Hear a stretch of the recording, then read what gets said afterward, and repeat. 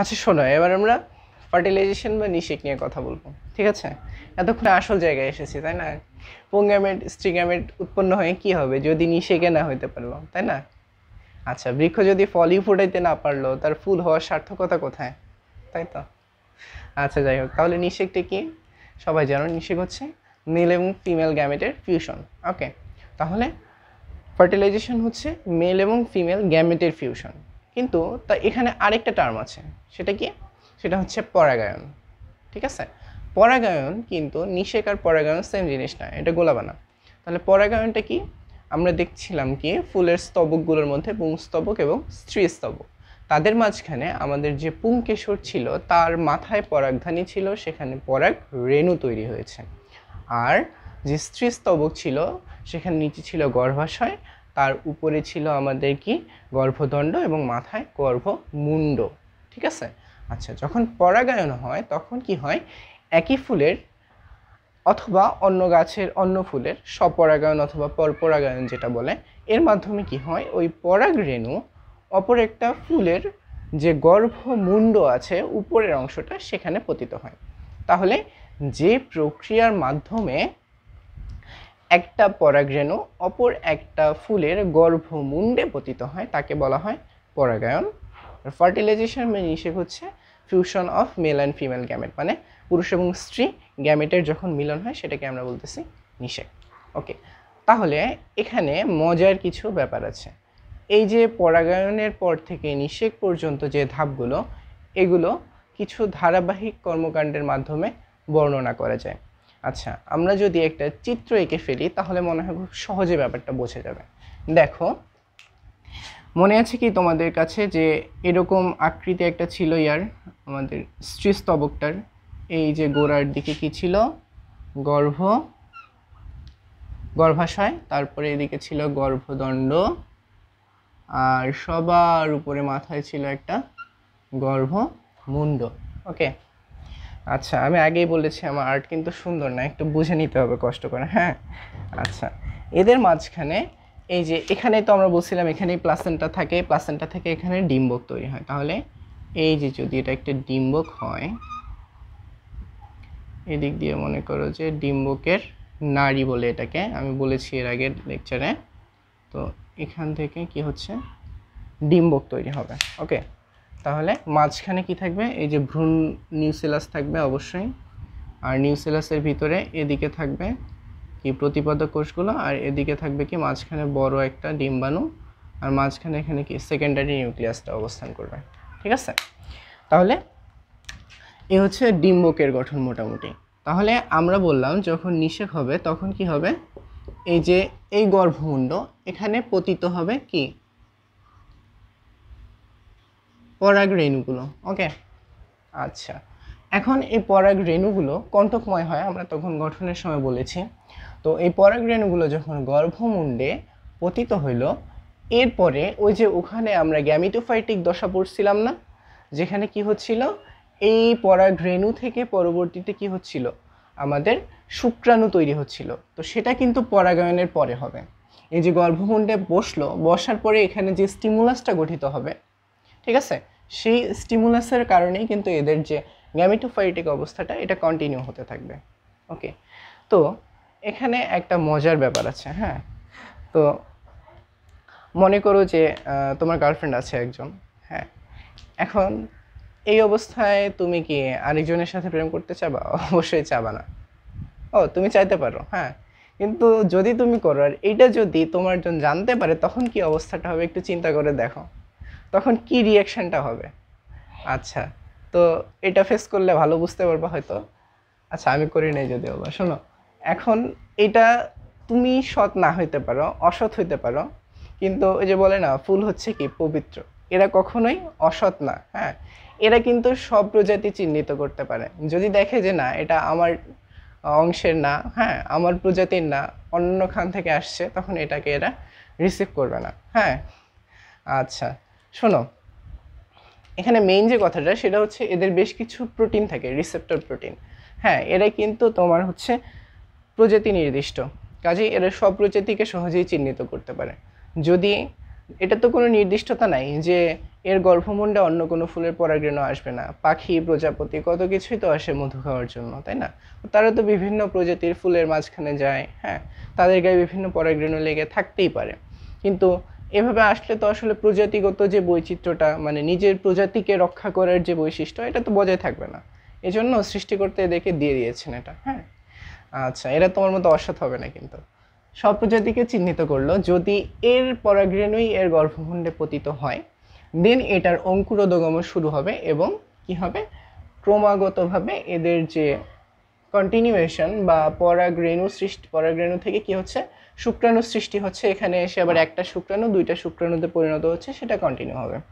আচ্ছা এখন দেখি আমরা এটা কীভাবে চলতেছে। এটা একটু বড় করে দিই সুবিধার জন্য। আচ্ছা তাহলে এরা ওখানে পড়ল, পড়ার পরে এরা কি? এটা কিন্তু পানি মাধ্যমে হচ্ছে না। আচ্ছা তাহলে এখান থেকে এরা রস শোষণ করল, তারপরে মনে করো এই যে একটা নারী বৃদ্ধিপ্রাপ্ত হবে, বৃদ্ধিপ্রাপ্ত হয়ে এদিক দিয়ে আসছে আসছে আসছে আসছে। এক সময় এদিকে প্রবেশ করবে মাইক্রোবাইল দিয়ে। এরকম। এখানে আমরা দেখেছিলাম সামনের দিকে একটা নালিকা নিউক্লিয়াস থাকে আর পিছন দিকে একটা জনন নিউক্লিয়াস এই জনন নিউক্লিয়াস থেকেই পরবর্তীতে আবার কি হইতো?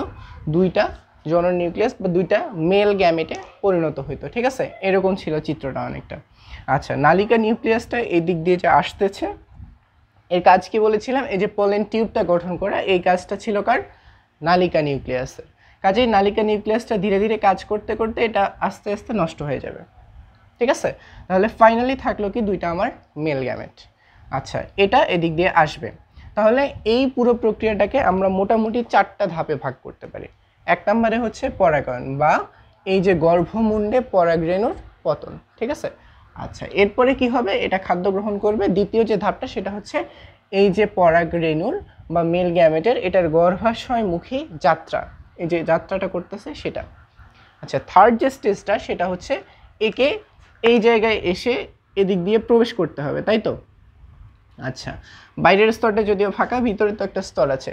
তার মানে এই যে ফিমেল মেল গ্যামেট এদেরকে ভ্রূণথলির ভিতরে প্রবেশ করা বা নিক্ষেপ করা, এটা হচ্ছে থার্ড স্টেজ আর ফোর্থ স্টেজে গিয়ে হবে ফার্টিলাইজেশন মানে এই মেল গ্যামেট এবং ফিমেল গ্যামেটের ফিউশন ওকে তাহলে এই চারটা ধাপে পুরো নিষেক ক্রিয়াটা সংগঠিত হয়। এখন এই যে এরা আসলো মনে করো এখানে, আসার পরে দ্বিতীয় তো প্রবেশ করবে। তো মাইক্রোপাইল দিয়ে যখন প্রবেশ করবে, তখন এই সহকারী কোষগুলোর কোনোটা নষ্ট হয়ে যেতে পারে। ঠিক আছে? মনে করো এই দিক দিয়ে প্রবেশ করেছে যেহেতু, এই কোষটা নষ্ট হয়ে গেছে, এই কোষটা। তাহলে এখানে একটা অলরেডি মেল গ্যামেট চলে এসেছে। আরেকটা আসবে, আসার পরে এই যে এখানে চলে আসবে। ঠিক আছে? তাহলে দুইটা মেল গ্যামেট, এখানে এটা আর এটার ফিউশন হবে।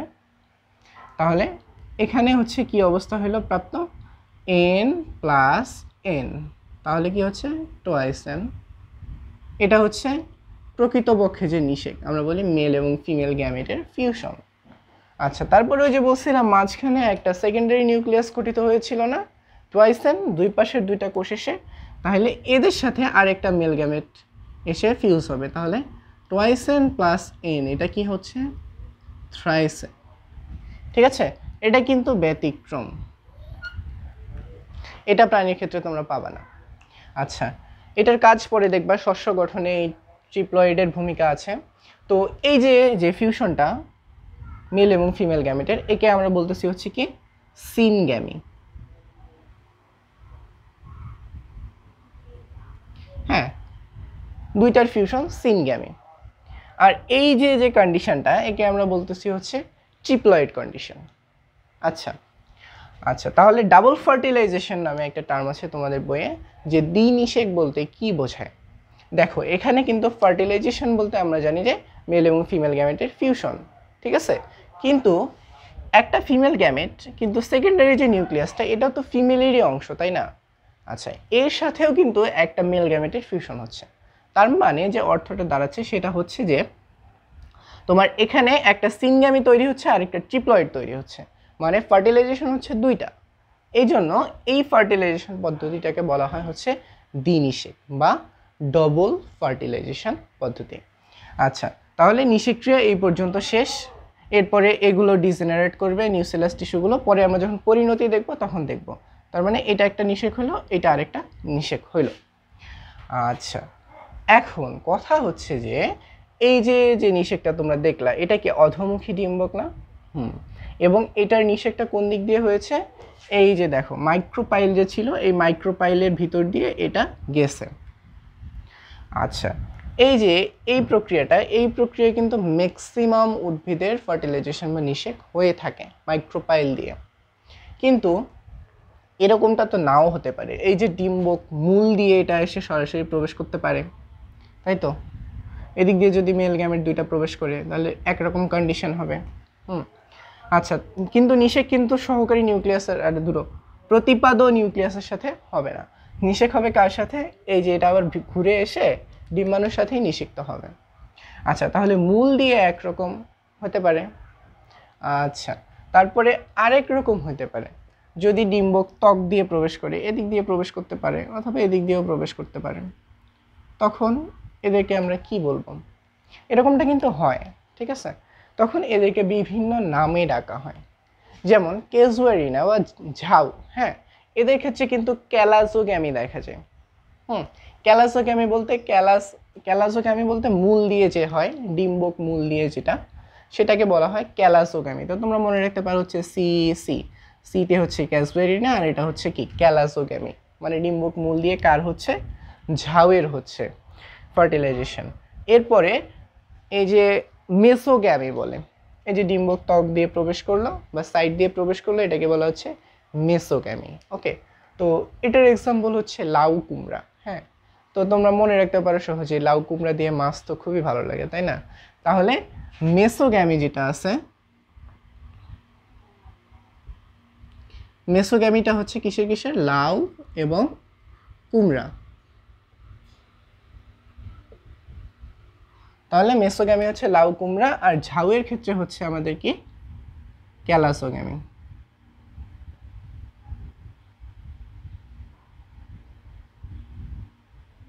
তাহলে এই তিনভাবেই কিন্তু ফার্টিলাইজেশনটা হতে পারে। এখন ফার্টিলাইজেশন আচ্ছা এখানে আরেকটা ফিগার তোমাদের বই আছে, এই যে এই আরেকটা পরাগ্রেণু থেকে এইভাবে আরেকটা পলেন টিউব কিন্তু আসছে। আসার পরে এই জায়গায় এটা আটকে গেছে, নালিকা নিউক্লিয়াসটা সামনে আর পিছনে দুইটা জনন নিউক্লিয়াস। এখন কথা হচ্ছে, এই যে এরা যতটা পরাগরেণু ওখানে এসে পড়ুক না কেন, তোমরা যদি মানুষের ফার্টিলাইজেশনের প্রসেসটা দেখছ, সেখানেও কিন্তু দেখবা যে তিনশো পাঁচশো মিলিয়ন স্পার্মের মধ্যে কিন্তু কেবলমাত্র একটা স্পার্ম গিয়ে শেষ পর্যন্ত ফার্টিলাইজ হইতে পারে হ্যাঁ ওভামের সাথে।